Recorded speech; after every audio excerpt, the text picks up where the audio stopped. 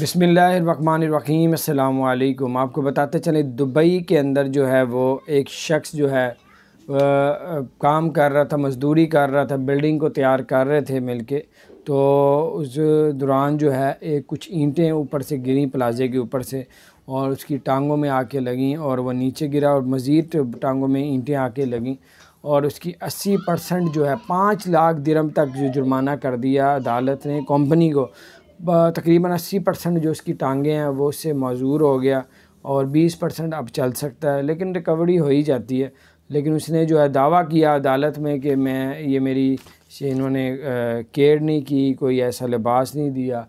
तो ईंटें ऊपर से गिरी हैं तो मुझे दो लाख दिरम का जुर्माना किया उसने, अपील की कि मैं घर में अकेला कफ़ील हूँ और मेरा कमाने वाला भी घर में कोई नहीं है। तो अदालत ने कंपनी को पाँच लाख दिरम का ऐलान कर दिया जुर्माना उसको देने का। तो बार ये कुछ अपडेट थी, अगर कोई ऐसा कोई सीन आपके साथ अल्लाह ना करे हो तो कंपनी के ऊपर आप केस कर सकते हैं और भारी जुर्माना उन पर डाल सकते हैं। अपना ख्याल रखें, अगर आपने हमारे चैनल को सब्सक्राइब नहीं किया, ज़रूर सब्सक्राइब कर दें। बेल आइकन प्रेस कर दें ताकि नई सी अपडेट्स आप तक पहुँचती रहें।